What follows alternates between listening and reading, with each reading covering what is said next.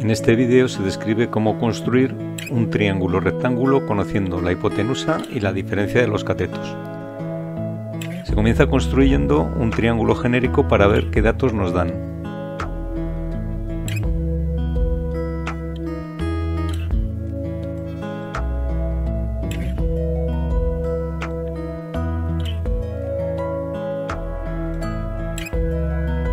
En este caso nos dan la hipotenusa A y ahora tenemos que restar los catetos B menos C.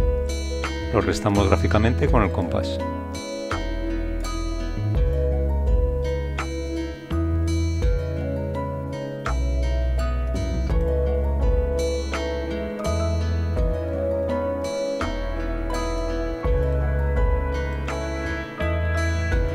Si superponemos el cateto C al cateto B, la distancia que hay desde el vértice hasta ese punto de corte será la diferencia de los catetos, B menos C.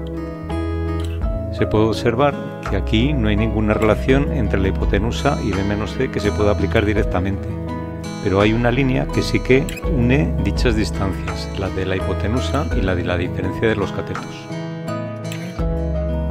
La que va desde este punto 1 de corte hasta el vértice.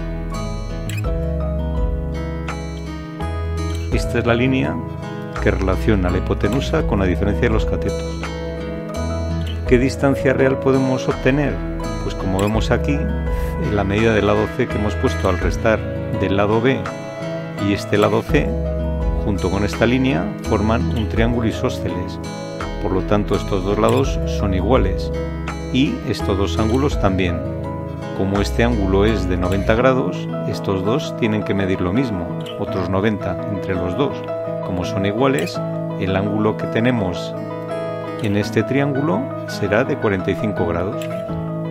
Por lo tanto, se puede construir sobre la distancia B menos C, sobre la diferencia de los catetos, una línea de 45 grados que corta la hipotenusa y sabemos lo que mide y desde, y desde dónde comienza, desde el extremo izquierdo de la diferencia de los catetos. Vamos a construir el triángulo. Partimos de una línea donde va a estar situado el cateto B. Sobre esa línea hemos visto que va a estar B menos C. La trasladamos con el compás.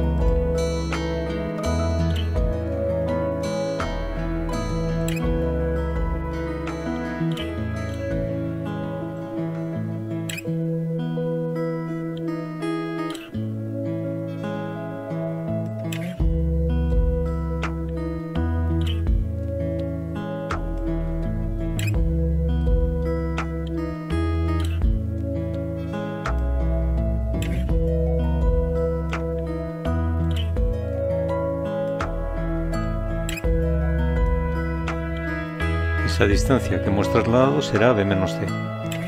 A continuación trazamos un ángulo de 45 grados en el extremo derecho de B menos C.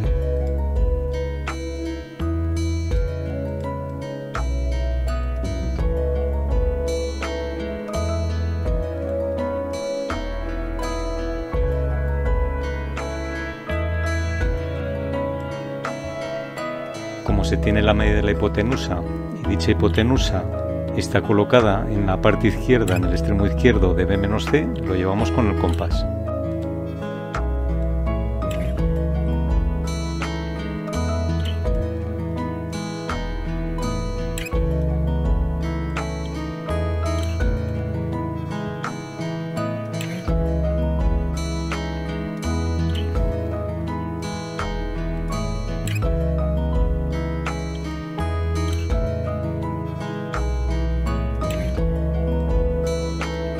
De esta manera tenemos trazada la hipotenusa.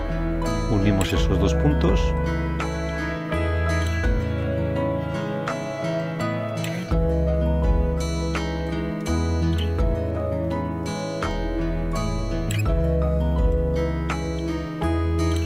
De esta manera tenemos situada la hipotenusa.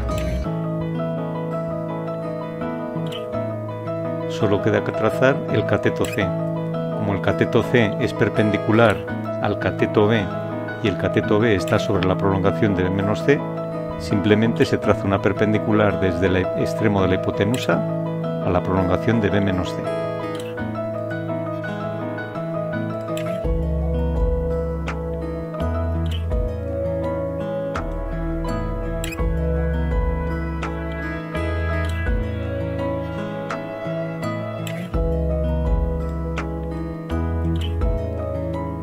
y el cateto B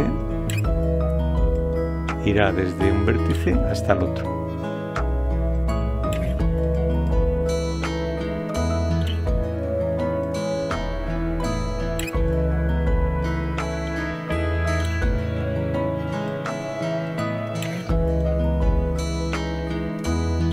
De esta forma queda construido el triángulo rectángulo.